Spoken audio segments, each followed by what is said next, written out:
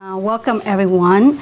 Um, my name is My-Lan Tran, uh, manager of the Lupus Asia Network, generally known as Lantern in short, at Hospital for Special Surgery. Together tonight, uh, partnering with Asian American Asian Research Institute at CUNY, uh, we bring you this lupus awareness program. And as Anthony indicated, lupus is a chronic disease that is very common in our Asian community. And because of its variable nature, we would like to present to you today lupus and the Asian community, a puzzle to ponder. And we will ponder together tonight. And I'm very, very pleased to present you our two panel presenters, Dr. Susan Kim and Ms. Eliza Ngan-Dittgen. Dr. Kim currently is a rheumatology fellow at Hospital for Special Surgery's Rheumatology Division and she has a special interest, particular interest in understanding health disparities and chronic illness in lupus. And Ms. Ngan-Dittgen is our Lantern Program Associate, and her interest has been to build a community health program in raising awareness and understanding about lupus in our Asian community. And she, believe it or not, once was a, um, a P Health educator volunteer for the program since its beginning in 2003. So, and at the detailed biography of our two presenters, you may find it on on this website. And uh, we will have some time for Q&A after the presentation. So now let me turn this over to Dr. Susan Kim and Ms. Eliza Ng. Um, thank you, My-Lan, uh, for asking me to be a part of this conference, uh, co-sponsored by ARI in Lupus Awareness Month. And it's really an honor for me to be here speaking with all of you, both the physical audience as well as the online community. And it really shows me how far we've come as a medical and social community um, in appreciating a deeper understanding of a complex disease like lupus. My talk today is titled The Many Faces of Lupus, and I'm Susan Kim, and I'm one of the rheumatology fellows at Special Surgery. Now, the goal of my talk is really to break down lupus, to demystify it, to clarify it, to define it, and offer visual presentations and representations. Then I'd like to touch upon a topic of lupus in the Asian community briefly. And then in closing, I'd like to touch upon a topic that is near and dear to my heart, and um, that is lupus and health disease, health disparities, and lupus and chronic illnesses. I hope that in the end it'll give a, a, a little depth to our understanding in, and appreciate the complexities that come with management of lupus uh, as a chronic illness.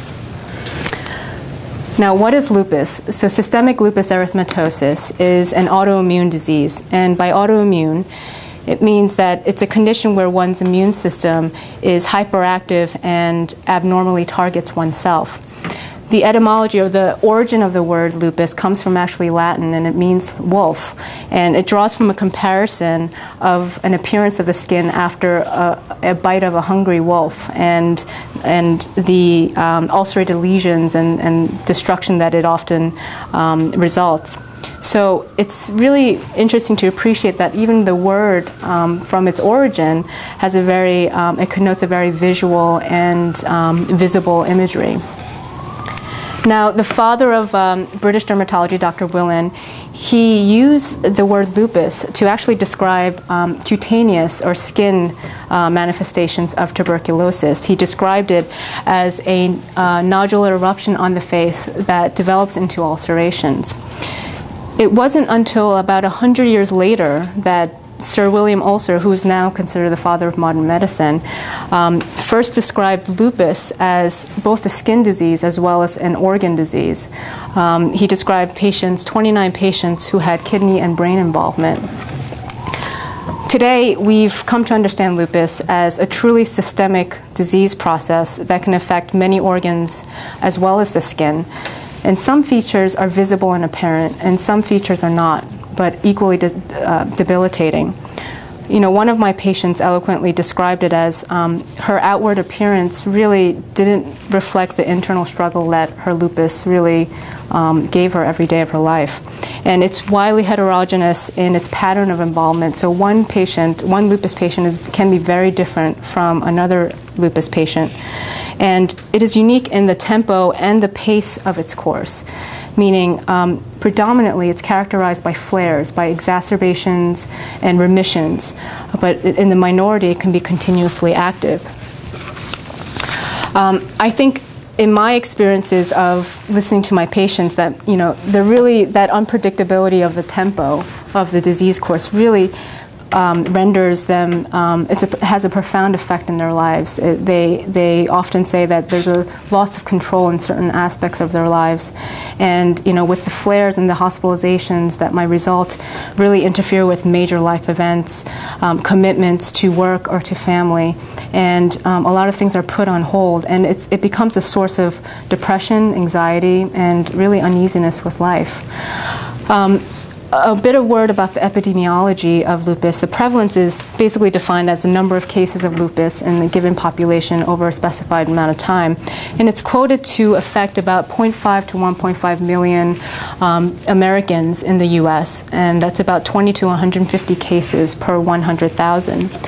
Worldwide, it's quoted to be about 5 million. And the CDC has recognized that it is important to get a more accurate assessment of prevalence. So they've set up um, two large SLE or lupus registries, uh, one in Michigan and Georgia, to better assess the prevalence for African Americans and Caucasians. And right here in New York City, as well as California, we have a similar registry for Hispanics and Asians. We know that it's more common in, in the racial and ethnic minorities in Asians, African Americans, and Afro Caribbeans and Hispanics. In one U.S. study in, done in Hawaii, found that Asians, um, especially Chinese, Filipinos, and, Jap- and, Japanese, had higher prevalence of definitive lupus compared to um, Caucasians. The incidence, which is defined as it measures the rate of, of lupus new diagnoses that arise at a, at a given time, it can be difficult to get an accurate assessment because sometimes lupus starts off as, a, as with very vague symptoms, and often people have these symptoms way before they are actually given a definitive diagnosis. But small studies estimate that it's 1.8 to 7.6 cases per 100,000 persons per year in the United States. I included the Rochester data because I thought this was interesting. They, they said that there was a tri- almost tripling of incidence cases of 1.5 to about 5.6 per 100,000 people. And I don't think that all of a sudden there are new lupus cases that came up. I think that you know the medical community and, and the community in general have a better understanding and more attention focused on it. And I, th- I think that with better detection, the diagnosis results. We know that there's a sex differential. Females are affected much uh, more commonly than males in the ratio of 9 to 1. And um, unfortunately, 90% of the new patients uh, presenting with lupus are women of childbearing ages. So, we understand that patients with lupus have um, a complex array of abnormalities in their immune system. And um, we understand lupus to be a polygenic disease, meaning that we can't identify one gene that's solely attributable to, to developing lupus. Most cases, though, are sporadic, but there may be clusters in certain families, and some studies show that up to 13% of lupus have at least one, one first or second degree relative who also have lupus. So family history is also a very key component um, in, in the whole, in, in basically understanding the puzzle. Um, it's quoted to have um, about 3 4% risk for um, a child developing lupus born from a mother or father who suffers from lupus. And um, genetic twin studies have shown that in identical twins, the concordance rate is up to 58%. But we understand that you know that's only about half of it, and there's much more to the story. And environmental stimulus is a big part. so. Um, an important thing to know is that lupus is not contagious. And I know that there's a lot of myths out there, but that's an important fact to stress. Although we have identified certain triggers, such as hormonal trigger, triggers, such as estrogen, and that's why we see such high prevalence of lupus in women in childbearing ages, as well as external factors such as sunlight, um, after viral or bacterial infections, trauma, stress, and even certain medications are often implicated in, in triggering lupus. This is a, a very general schema of the pathogenesis of lupus, and, and not to get too you know down to the details but you know within the box here is a simplified representation of our immune system. Um, the t cells the b cells you know these are all players in our immune system that are there to protect us and, and to fight off infection. In a patient with lupus, um, there's a genetic risk, and that affects the way our immune system is wired, and it affects the way our immune system talks to each other and reacts and mounts an immune response to a pathogen, which could be an infection. But in, in the case of lupus, our, there's a hard wiring that is sort of off, and it's often triggered by these external factors. And the antibodies that are created often end up targeting oneself, either the skin or the, the kidneys or the brain, and that's how lupus results. So, common organ systems that are affected include uh, the skin, muscles, and joints. Um, the, the blood vessels, the linings of the lungs, which is uh, pleura and pericardium, is the lining around the heart. But I think what, what is most important that it is or, it can be organ specific. Um, but the, it's important to highlight that the systemic involvement can become almost additive in its effect, and it can exert a, an aura of feeling unwell, almost like a cloak of, of illness, and, and that just represents, I think, a chronic degree of inflammation that happens, and patients really express that through the level of fatigue, the loss of appetite, the failure, failure to thrive, low-grade fevers, and I think that's an equally important um, symptoms to really pay attention to. So the diagnosis may be challenging, like I said before, especially in the face of very non-specific symptoms. Um, initially, the patients may complain of fatigue, malaise, weight loss, anorexia, and fever, or they can be organ specific. I've put asterisks next to the ones that are most common, which are the joints, the skin, as well as um, the, the, the, sense of fatigue. And I've highlighted in bold the skin because I, I feel that that is the most visual representation of lupus. And these are very typical pictures um, taken from the American College of Rheumatology website of the typical malar rash that may occur in lupus and um, the discoid rash. So malar rash of lupus is, is described as a red purplish rash that characteristically has the shape of a butterfly um, that, if, that, that involves the bridge of the nose and both cheekbones. Um, you've often, some people have often just called it a butterfly rash.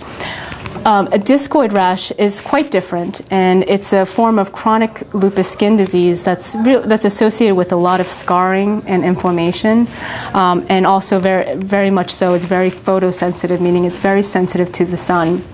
Now, it's important to know that lupus patients can get discoid lesions, but most patients, uh, a great majority of them with discoid lupus, often do not have systemic symptoms. So it's important to screen them and make sure that they don't have any other systemic involvement.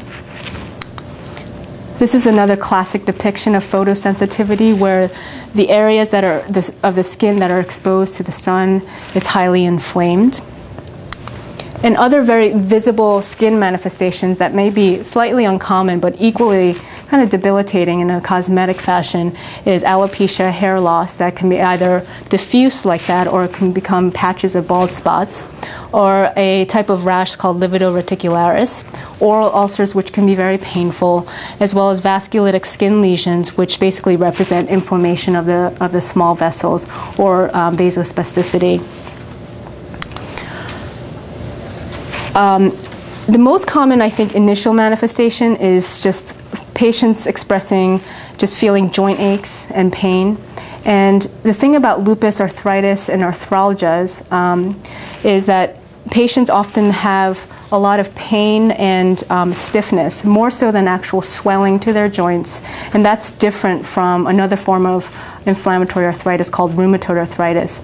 And it, it, affects the small joints. So it affects your hands, your wrists, your ankles in a very symmetrical pattern. Um, and often on x rays, you don't see any erosions. Um, it's really inflammation of the tendons around the, um, the hands. And the deformities that you see here, it's often fixed uh, or it's often modifiable where you can straighten this out. Now, in terms of non-visible aspects of lupus, and I think this is a sort of important point to make, um, that fatigue can be a very it, can be a very uh, main symptom as well as a very debilitating symptom um, in a patient with lupus. And of course, the doctor must rule out organic causes such as anemia, um, renal failure, um, thyroid issues that can also contribute to the feelings of fatigue. But um, it's very common, um, commonly exacerbated or worsened in, this, in the periods of a lot of disease activity, but it's often um, the only symptom that actually remains um, after treatment of an acute flare you know, it can really force patients to stop working, to cut social ties. Um, you know, one of my patients said that she functions on reserve and she has to be very task oriented, uh, meaning that, you know, she really has to cut a lot of um, extraneous social events in her life. And that really becomes very isolating uh, for a lot of patients. Um, we understand that poor poor coping strategies, um, feelings of helplessness, feelings of depression and, and anxiety, uh, and a lack of exercise all contribute to worsening fatigue. And I think that, depre- that the lupus community more and more have um, given highlight to the neuropsychiatric symptoms that encompass lupus. So it's not just organ specific where we you know concentrate on the on the kidneys or the joints. We understand that there's a global um, um, derangement that happens, especially in psychological health. A lot of patients have underlying mood disorders, either it be due to the underlying disease or due to the medications that they're on. And um, depression and anxiety is a real problem. Uh, it's quite interesting. The I think the age of diagnosis um, is quite telling um, in terms of the reasons why they feel depressed. Um, so my younger patients who are diagnosed at you know in their adolescent and um, adolescent and teenage and young adult um, years, you know those years are very formative for their you know social identity to form intimate relationships, you know, and they're unable to do that, and so a lot of they, they feel left out they can't keep up physically they can't keep up socially and they feel very isolated my older patients who are diagnosed, you know, well into their 40s or 50s, you know, they've identif- they've sort of established themselves, their family, and their role in society. They actually work, have a job, fully functional, and then they get a diagnosis of lupus, and it's very life altering. Um, and you know, pe- my patients on disability, they they they say that it's almost a source of disempowerment you know, they feel very guilty and they feel like unproductive, and they they've often often told me that they feel that their life is a failure, and I think that's a you know that's a measure of how. Um, deep and profound the effects of chronic illness is. Suicidality, I think, is an important point. Um, they've, they've said that lupus risk is quoted to be about fivefold higher than the normal population. And also, another important point I want to make uh, before leaving the slide is neurological problems aside from headache and stroke, uh, stroke being very obvious, um, a lot of patients complain of cognitive dysfunction. They call it a lupus fog, and you know they're really unable to think clearly, make short-term. You know their short-term memory is uh, is impaired. Their um, ability to concentrate for long periods of time is impaired, and it really that really can get in the way and interfere with normal social interactions. I think many of these factors um, are multi factorial in its origin, and so you know it's hard and to distinguish where it comes from. And I think that you know I can say part of it comes from maybe the underlying disease, but also some of it comes from you know people feeling depressed because of the unpredictability of this disease, as well as some of the medications that can induce um, mental mental disturbances or mood disorders. For this slide, I don't want to get into detail, but I just wanted to say that lupus is a clinical diagnosis, and it helps to know that in the in blood work that you can find something abnormal. And what you're actually looking at is, you know, there's techniques to highlight the antibody um, that your body has created to your cell. Um, your cell's nucleus and the components of the cell. And um, it's coined as anti nuclear antibody ANA and often serves as a screening for diagnosis of lupus. And then, if lupus affects the bone marrow, you can get hematological abnormalities with your cell count. And then, if it affects your, your kidneys, you can see abnormalities in your urine. A word about the treatment is um, there is no cure to lupus, but it can be managed, and it can be managed very well with partnership with your healthcare provider. For mild cases, you know, most of my patients, if they tolerate it, are, are on plaquenil, that's, an, that's also known as hydroxychloroquine. It's an anti-malarial that acts as an anti-inflammatory. It also has immunosuppressive effects, and you know, non-steroidals can be very helpful. Topical steroid creams can be very helpful. But for severe and moderate, for moderate and severe diseases, we often turn to the med- to corticosteroids. Um, to dampen the, the effects of inflammation very quickly. It's a very good medication um, in the short term, but we've learned through, through use um, in the long term that it has a lot of toxicity, and so we, we often turn to other medications that I've listed here to sort of curtail the, the duration of steroids. Interestingly, I've highlighted in bold the two medications, belimumab and hydroxychloroquine, and these are the only two FDA approved medications to treat lupus. But of course, you know, in our armamentarium of treating lupus, we use a lot of these medications on an empirical basis um, to help our patients get off steroids and really manage the level of inflammation that they have lupus in the Asian population. So there's a wide disparity and clustering within countries, and in a recent study, they found a prevalence to be about 30 to 50, 50 cases in 100,000 uh, patients, a higher prevalence in Shanghai and Hong Kong, and a lower prevalence, prevalence in India and Japan and Saudi Arabia. The incidence, incidence rates is, is quoted as 0.9 to 3.1 and that's pretty similar to the Asian population that was analyzed in the state of Hawaii. So, common manifestations, common being common, skin and joints are involved most commonly. But um, we've realized that in the Asian population, there are more targeted organ involvement, and kidneys uh, are one of them. And there's higher rates of lupus nephritis in the Asian community versus the white um, Caucasian, and similar rates in Afro Americans. Um, I think that that has something underlying with uh, a genetic abnormality and um, an interesting concept of ethnic influence. I think it's genetic as well as something environmental that really um, changes the face and pattern of lupus. So this is an interesting and prevalent question. Do Asian patients have worse lupus? Um, I think that's a controversial and hard question to answer, but you know, some studies show that Asian patients have more organ involvement and damage, you know, at the time of diagnosis and higher mortality they say that the higher renal involvement, which is a very severe involvement of lupus, is um, greater in Asians versus um, Caucasians. But uh, some studies just show that you know Caucasian lupus patients just have a different form of lupus that can be equally severe as well. They have involvement of the lining of their of their lungs or, or their heart, and they have hematologic abnormalities.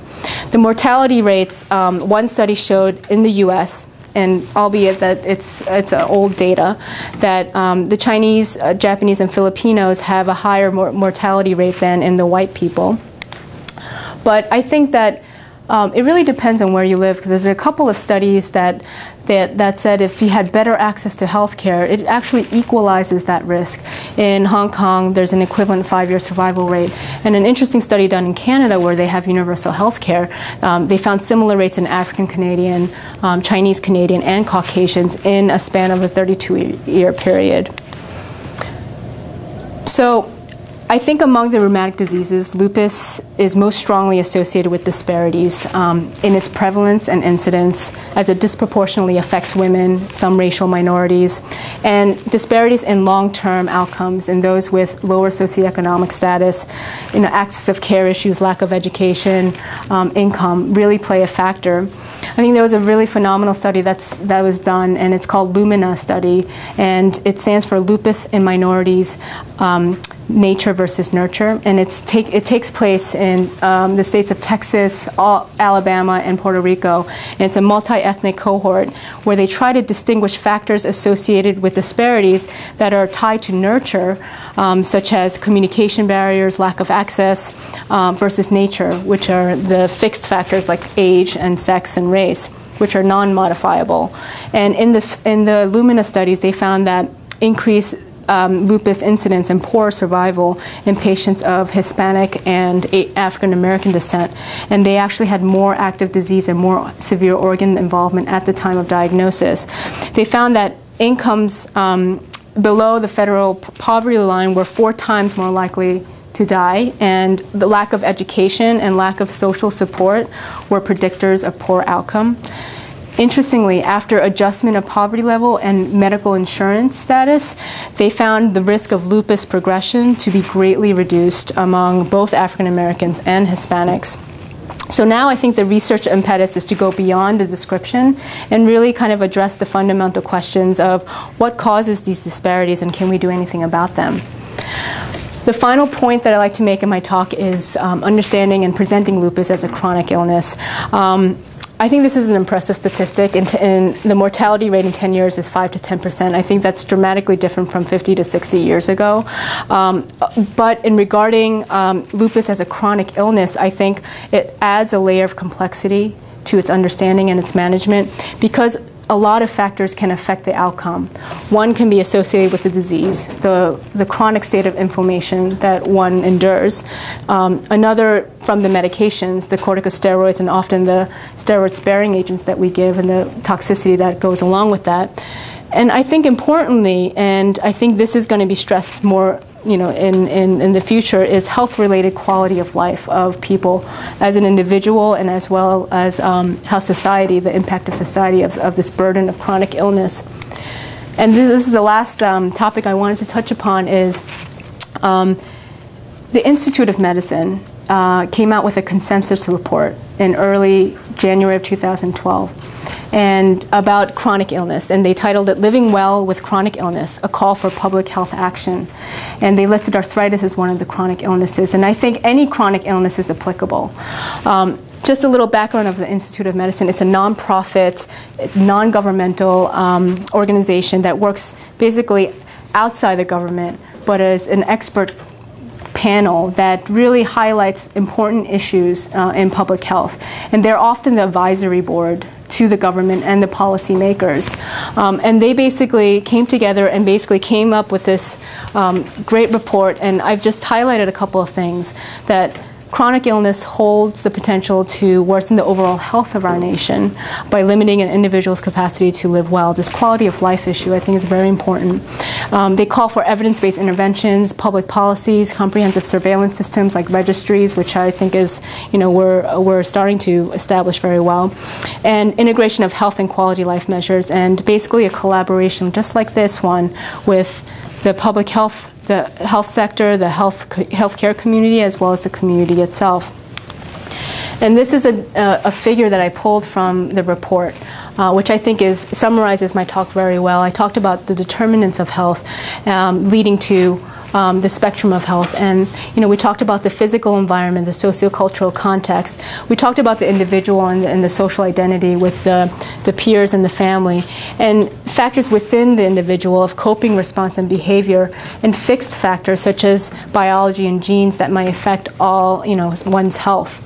And I think they did a, a very nice job in really laying out the spectrum of health as um, a continuous classification rather than a dichotomous you're ill or you're healthy because I think that that's what really happens in real life when you deal with chronic disease. Um, and this is the level, this green arrow is basically what we're doing, um, collaborating with the community, um, the healthcare system, um, as well as um, the media and public health to really bring awareness and highlight the important issues. Thank you for thank you for inviting me, and um, this is the Lantern uh, website as well as the um, telephone number. If you have any further questions. Hi, good evening. Thank you, Dr. Kim, for such an in-depth and comprehensive introduction to lupus. Uh, my name is Eliza Ngan and uh, thank you for being here tonight. Before I start, I would always like to get to know my audience a little. So please, by a show of hands, has anybody actually heard of lupus before? Or know someone who has lupus? Oh, there's a few. Okay, honestly, I'm not sure why I put myself up for this because I find it rather uneasy to share personal stories in public, especially in front of a crowd. But anyway, I chose to take the plunge tonight. Why? Because I think it is important for you out there to know more about lupus and to learn how it impacts those who have it. And it is through these little stories that I share tonight that you're able to take a little peek into the inside world of a person living with lupus. And with this piece of knowledge, I hope for those who haven't heard of lupus before and I become more aware. And for those who have encountered lupus one way or the other, feel good about themselves or their loved ones. So here I am.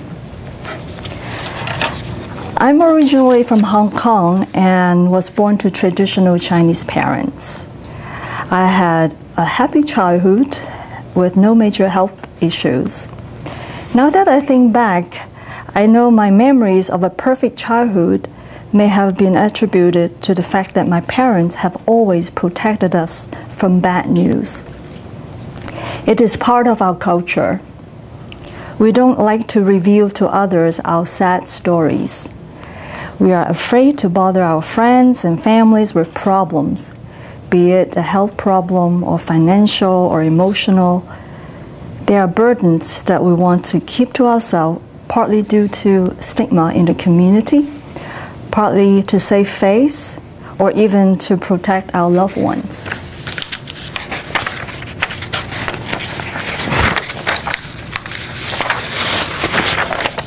My mother has lupus. It took her quite a long time to reach the diagnosis. Lupus is a complex illness with many symptoms and they vary from person to person. Therefore, it is not so straightforward to pin down. One day, my mom came crying and told us that she might have blood cancer. Totally out of the blue. We were flabbergasted when she continued to tell us what happened. One evening, when she was taking a bath, she discovered bruises in her limbs and hoping they would go away by themselves. She did it also out of love as she didn't want us to worry. Unfortunately, the bruises didn't go away, but rather spread over to her body. And my mother got so scared that she finally let the cat out. And her doctor said afterwards that if she delayed longer to seek help, these bruises could become extremely life threatening. As you can see, this particular cultural value of ours could be a culprit for our health issues. So think about it. Would you rather be open about your health concerns and seek medical advice before it gets worse, or hide it like my mother? Now, let me ask you another question.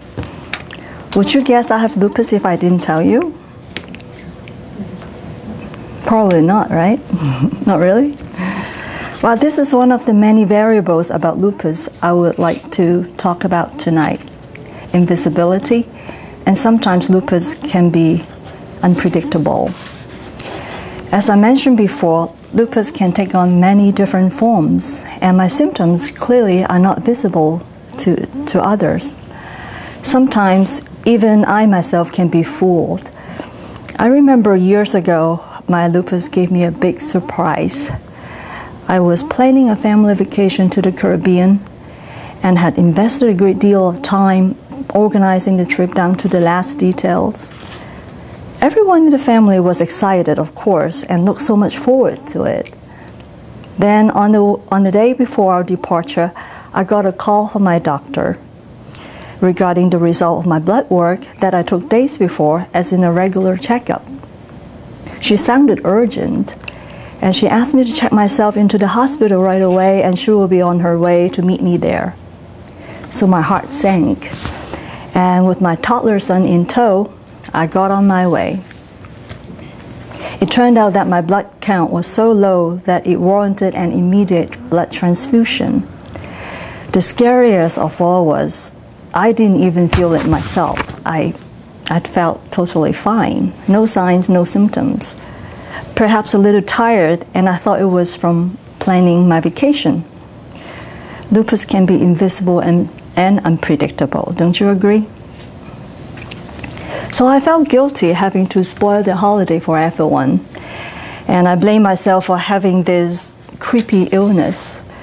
But guess what? My husband and my son were so loving and caring by my bedside that my guilt disappeared in no time. They understand what is more important, and how can I not understand myself? Lupus can cause inconvenience and even distress to our daily life when we don't get the kind of understanding we hope from our friends or family, we will feel frustrated, angry, or even sad. We may also hold it against ourselves. But please don't, because we are just doing our best to cope with our illness. Whether or not others understand it, it is we who have to understand it first. So after that incident, I, be, I began to pay more attention to myself and listen to my body. When I felt tired, I wouldn't push myself. I would slow down and postpone my plans. And of course, it didn't always go down well with my friends and family. I remember there was one time when I had to put off a trip to, to the Natural History Museum with my son, who was six or seven at the time, because I felt tired. And he said to me, How come you're always tired, Mom? You just slept a lot last night. You know, it was apparent that he was hinting indirectly that mommy must be too lazy to take him. Again, because of this common and yet invisible symptom, fatigue, we could be misunderstood by our loved ones, by our boss, or our friends for excusing ourselves from our daily jobs. And there are many other um, symptoms, like rashes on the face that may change the way we look. And when I have this moon face uh, from the medication I took, I used to feel guilty and embarrassed for not being able to look my best for my friends and family in, at weddings or birthday parties, alumni reunion. But what I learned from my experience and wanted to share with you today is we should never be shamed by what lupus causes us.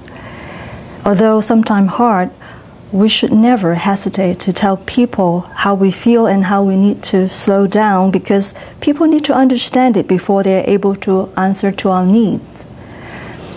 At the end of the day, it is our health that we're protecting here. In my case, if I'm not healthy, who's gonna take care of my boys?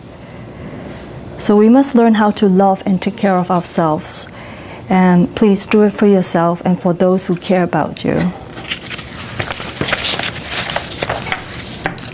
So, speaking of loved ones, I, can anybody hear me? Kind of very quiet. okay. Speaking of loved ones, I'm really thankful to my family, my parents, and my siblings for their love and support all along. I recall one of the worst lupus flare that happened to me was when I moved to the United States many years ago. The timing couldn't be worse. I let me tell you why. My husband got relocated by his employer to New York in that year, and I was 33 weeks pregnant with my first son when I boarded that plane.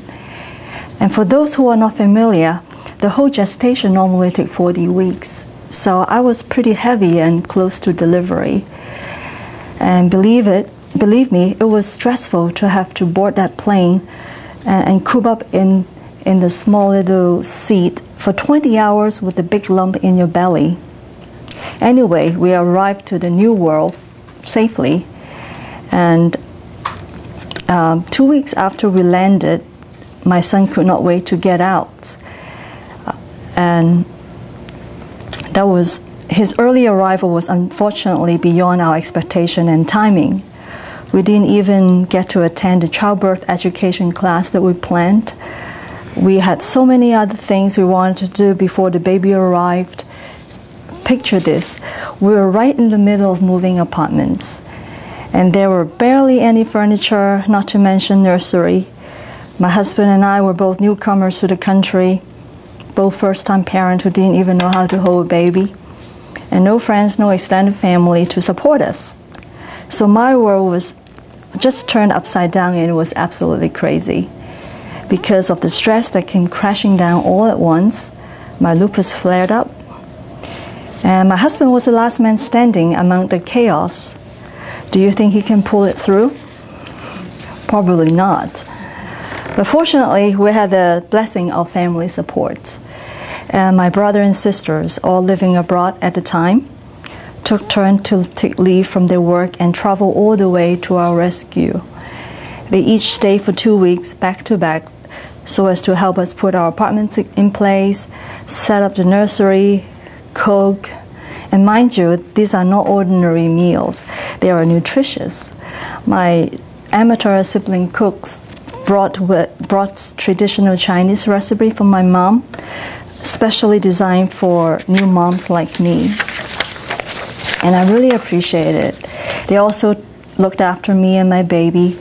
In the end, I was well covered for a month and a half until I finally got back on my feet. For the miracle of love, my lupus went into remission, and without my family, there wouldn't be me. Then, because of my cultural background, I was not willing to share my lupus with friends and colleagues. I was afraid my colleagues would think of me differently if they knew. The Chinese name of lupus translates into something that sounds quite int- intimidating. It means literally a wolf, bumps and rashes in the skin that sounds contagious. That's why people who don't know much about lupus would avoid those who have it. But then I came into contact with Lantern Lupus Asian Network at Hospital for Special Surgery and became a peer health education counselor. And that changed my view completely. I realized the power of peer support. It is amazing and healing as you know you are not alone. And I also became overt about my illness as I wanted people to be aware of it. Like I said at the beginning of my speech, it is important for our community to learn about lupus so that we will face it instead of being scared of it be alert of early symptoms, and seek appropriate medical help. We all should bear in mind that early treatment is critical for desirable outcomes. So that's all I would like to say tonight. Hope you could help to spread the words about lupus in our community. And we at Lantern will always be here to help, provide support and education. Thank you very much. I'd like to wrap up this panel presentation by um, saying a few words about Lantern. Um, Lantern is a national support and education program specifically designed for Asians living with lupus and their loved ones.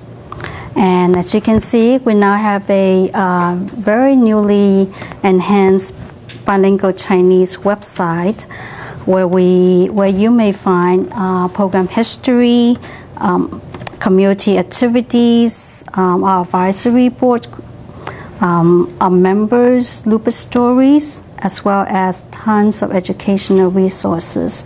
So come visit us at uh, www.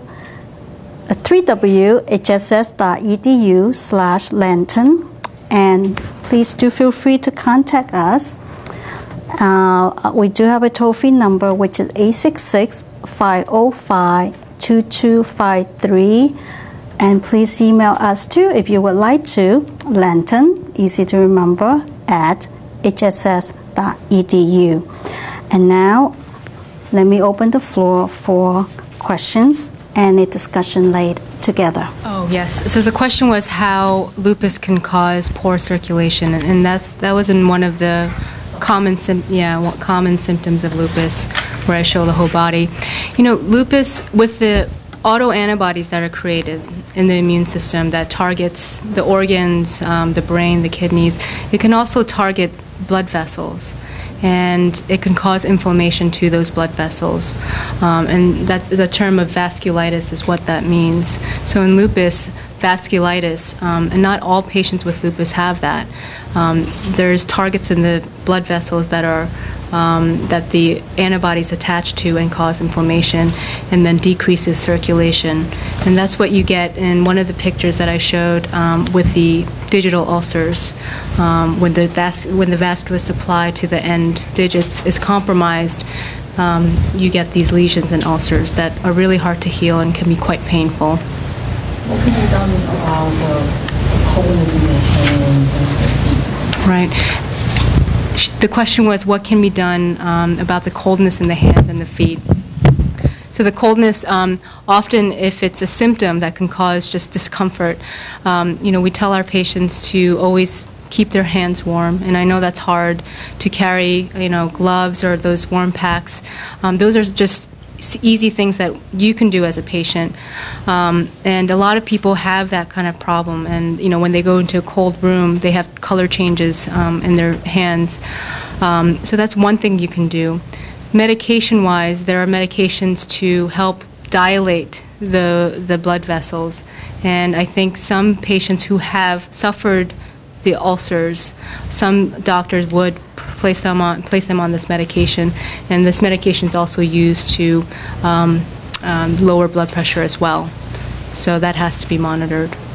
Just, just to follow on that, you say warm pads, are you talking, referring to the ones that the skiers use? Yeah, so I am referring to yes, like the the little pads that skiers use. I think that that's often helpful um, for a lot of patients, um, or just gloves. They carry around gloves, and you know, especially even in the summer when they go into air-conditioned rooms. I think that's um, a, a quite a problem for them.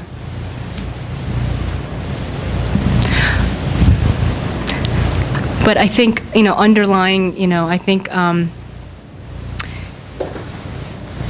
it's a symptom that's very discom- discomforting, and it's something that maybe you can, there are things that you can do, but you know, uh, it, it's a level of whether your lupus is controlled or not, and I think that's a deeper conversation um, that requires a little more, you know, data and um, more time with getting to know you and, and figuring out what's going on.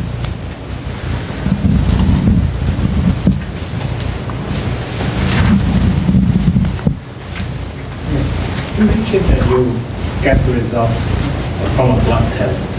Is that typical if you go to a doctor and you have no symptoms, they could do screening or? Yes. Um, yeah. This is why I. Can you hear me? Yeah. Yeah, this is why exactly why I say lupus can be invisible because on the surface I felt fine. Right. I just felt a little tired, and I thought it was because of my, you know, planning my trip. I was too excited, and then I always take routine blood work. You know, this is important in order to control um, uh, the lupus. We have to keep our doctor's appointment. We have to keep lab work on a regular basis. And this is uh, one of the regular checkups that I have. The doctor find out from my blood work that uh, my lupus was actually extremely active without me knowing it. Yeah. Let's say a typical Asian wouldn't go to a doctor and get this uh, screened. Right. So maybe you have a family history or something, maybe you're a little bit more cautious. But in general, let's say someone goes to a doctor with some symptoms, uh, the symptoms are, could be a lot of other causes, Yes. but will a doctor actually think of it to, to do that kind of screening? Um, so that's a very good question, and um, it's it's a hard question to answer. So, uh, you know, I think in Eliza's case, there were certain abnormalities that were clearly not normal. Um, probably she had profound anemia, which is her red blood cell count was probably low from what she was telling us. Um, and in lupus, when it affects the the bone marrow, it has autoantibodies um, targeted to the red blood cells, and then your red blood cells are basically destroyed. And um, you know, those things. It can relatively be asymptomatic. I mean, some people, if it happens slowly enough, pe- people can adapt to the level of fatigue. And, and for Eliza, she- probably she didn't feel it as much, but she did feel a, a slight um, sense of fatigue. Um, and, you know, sometimes renal disease, uh, like lupus nephritis, that can be asymptomatic for a long time before um, it's actually detected that you have an abnormal urine um, sample and um, and you know until you get symptoms of, of swelling or of, of kidney failure. You know, a study that was done um, recently um, showed that that the the the the like, panel of antibodies that are associated with lupus, they're existent in your circulation, and some progress to presenting with clinical symptoms, but some don't. And we know that their antibodies are there. So, you know, if you get a blood test and it is ANA positive, but you have absolutely no symptoms, then we don't really know what that means, but you might want to follow up on a yearly basis and, and, and make sure. But, uh, you know, again, lupus is a clinical diagnosis, and detecting it on the blood work helps, um, but it, it's often hard to say if it's not as clear cut as in Eliza's case. So would the doctor order that test or?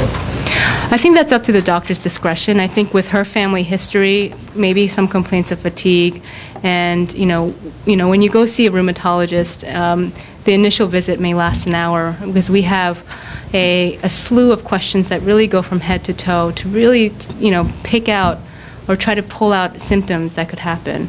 And um, even a primary care doctor, some people in the in the community screen with an ANA. Um, and again, a positive ANA really does not mean much without any clinical symptoms. Um, and it's, an, it's a common referral that you know people just come to rheumatology for a positive ANA. Um, and I think that takes a little bit of time uh, to get to know the patient as well as time passing to see if there's, there's any clinical significance of an abnormal blood test. Hopefully that answered your question. No, because you, you have seniors who are arthritic, athletic, and they get these drugs, and sometimes you can get a s- slow, uh, a small bleed, and your blood counts were, and you could seem like you're anemic, tired, and all that stuff. But will the doctor order order that test? That's what I'm sure. So the question is, in seniors and older and elderly patients, that they can have some bleeds that happen and their blood count um, decreases. Um, so that's an important workup that a, a physician does. Um, they figure out is there a cause for the bleed? Um, is it a source in your colon? Is it a source in your upper GI tract? Um, i- once you've ruled everything out and you've done a little more specialized tests of testing for the antibodies to the red blood cells, and if it's positive, there's something going on, um, then that gives you a little bit of indication. Um, the hard part about lupus is it's really you have to rule out everything. If you're having an infection, if you're Be too late? well, you know, it's it's not too late. I mean, it, I think everything happens in a very timely manner, um, and um, I think the initial step is is getting yourself to a doctor if something's not right, and especially if you have a family history of lupus. I wonder, you know, your question kind of raising the issues of from a cultural perspective, how to um, approach the doctor on seeking the even the step one, you know, that move along the line. I think that's. I wonder if that's also your question was asking about Right. that. Yeah, because so I'm wondering what your thoughts about it. It's like, I think from, um, I think generally speaking, most of us don't tend to ask the doctor or, or try to play as a doctor. It's like, why don't you give me this test? And um, so it's like as a patient, and especially as an Asian patient, who tend to be a little bit more wanting to show respect, you know, courtesy. We don't tend to kind of come forward and say you're supposed to do what and what. So, and I think the question is like, you know, in what way, uh, how and when, you know, and what to ask the doctor, even a, uh, a general practitioner, how to get a test or what test and what symptoms that I would communicate to the doctor in order to get other proper tests needed. maybe both of you can talk one from a doctor perspective, the other one from a patient perspective. You know, I think it's. Um, I think it can be hard. Um, you know, like I, I, I alluded to in my in my talk. Sometimes the beginning symptoms of lupus can be very vague, non-specific. Um, people can just have just feeling fatigued and weight loss and anorexia. And as a primary care physician, my first thought is if it's an elderly person, I want to make sure everything in terms of cancer screening has been checked. Um, and then you look further into whether or not they have an infection, if, they, if they're having fevers. And you, you basically get a basic blood test and you know, check, check the urine, make sure everything's okay. And then if the symptoms are still present and, and prominent, I think that that might indicate um, a further investigation if you don't find any answers. And I know that you say that it might take time, but it really, it, it shouldn't take that much time. Um, and I think as a patient, um, to be persistent and to, to be, I guess, compliant and coming to the to the to the appointments and having a partnership with the with the physician. And I think that's really based on um, trust as well as sort of knowing as a patient what to tell the doctor and what not to tell the doctor. And I think my, myself, being a doctor, I would like to know more than less, uh, and then filter out what's important and what's not.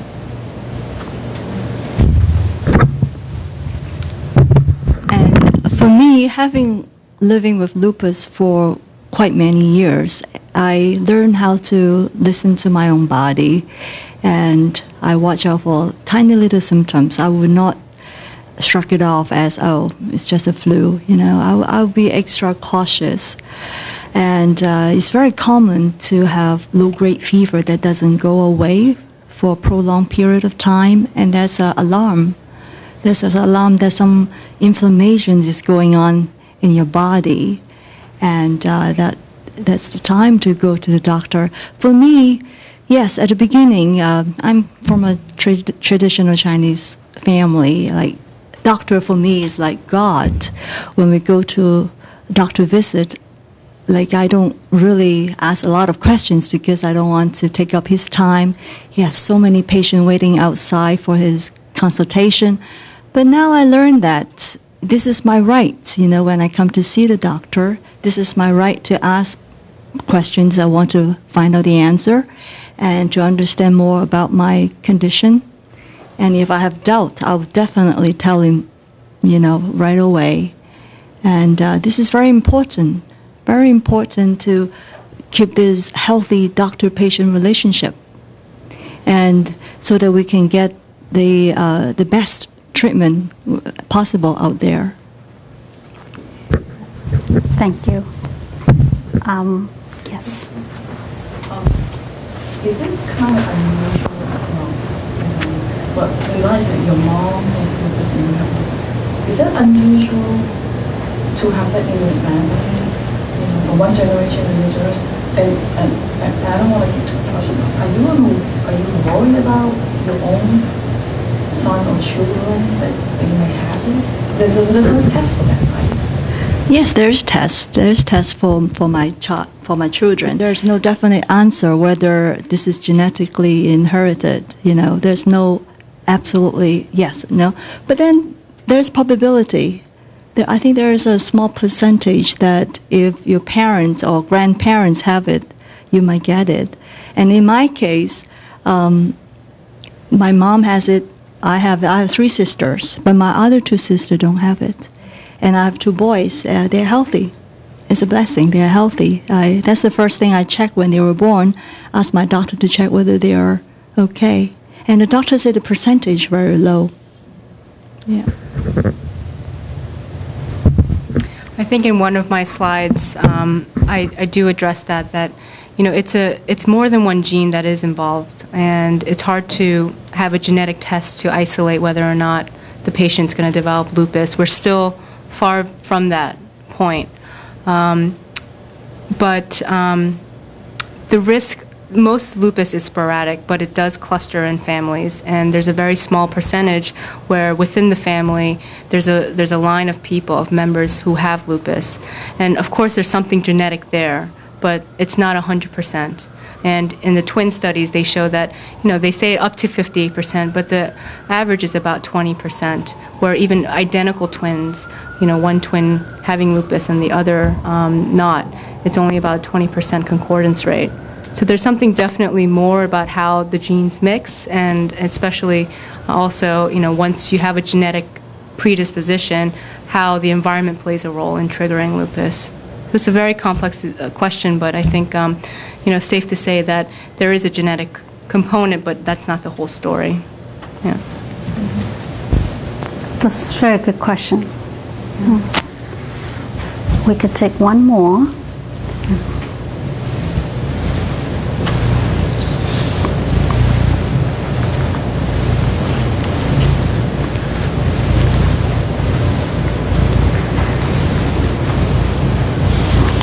Um, do we have any? Actually, I got one question, and that, I promise will be my last one.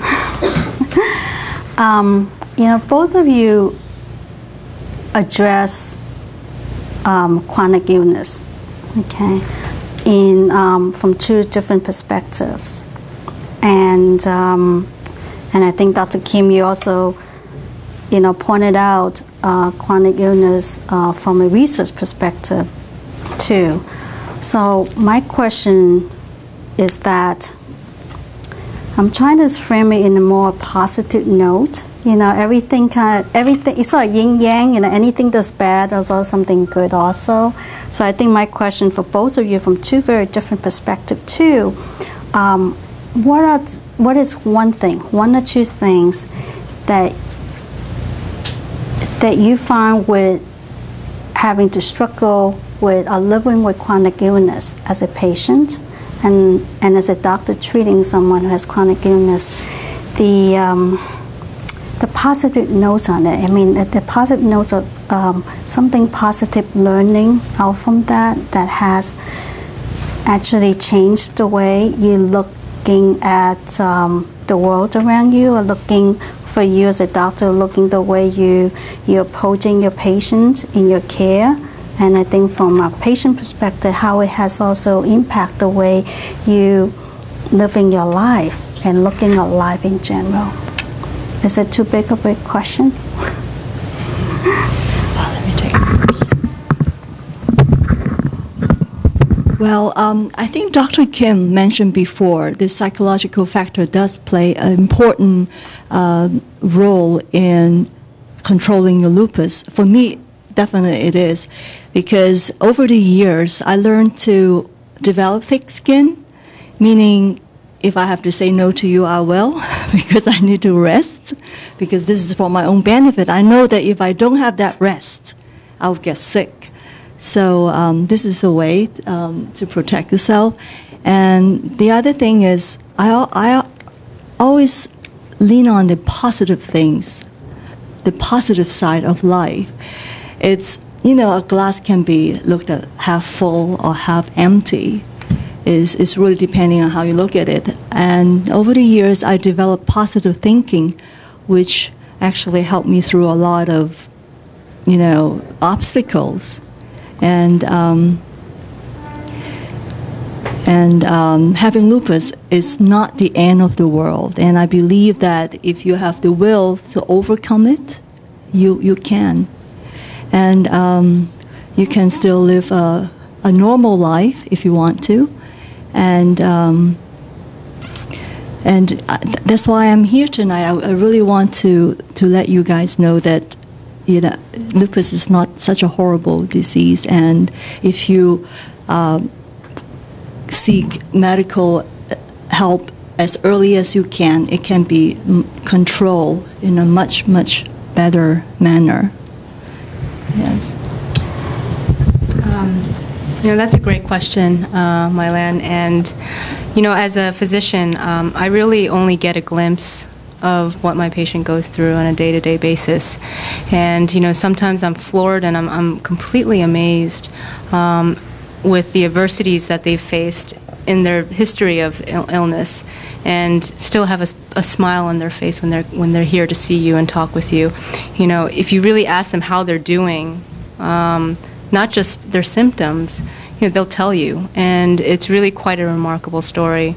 Um, you know, a lot of my patients, they've been through a lot, and I, I find that um, the patients that sort of have hope um, and have a positive outlook, really, it, it makes a huge difference in terms of things that may come down on the in, in the road. And you know there are patients that really can't cope very well and they have a lot of struggles and a lot of struggles that are really outside their control you know they're they're they can't work anymore they're they're on disability they have they're a single parent and um, they're on Medicaid um, you know, there's a lot of stress that goes on, and what you do as a physician is you help them as the best you can in any way.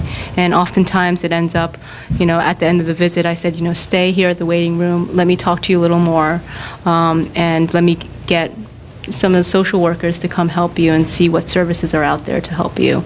And I think, you know, we've done a lot and, as a medical community to really focus on the non-medical aspect of of illness, and um, a lot of pa- patients come through in the end. Thank you. So we all become sensitized in one way or the other in the way we providing a service and in the way that we looking at ourselves and how we how you know how we um, looking at life ahead. Right? So uh, if we do we have any one more questions before we wrap up? Okay. And so thank you very much for being here on a Friday night. So thank you and Thank you. thanks.